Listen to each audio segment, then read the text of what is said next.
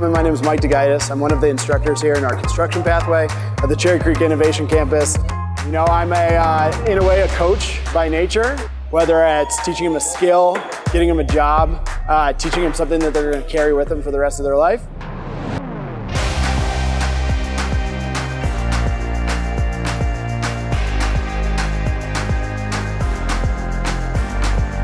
It's like no other teaching experience I've ever had. Uh, kids go out and do some pretty cool things with the stuff that they get here.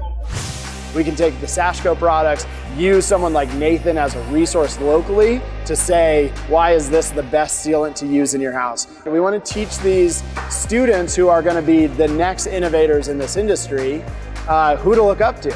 And so having these guys here is kind of a dream come true seeing a sense of pride in a program like this that says, I'm invested and I want to send my kids there.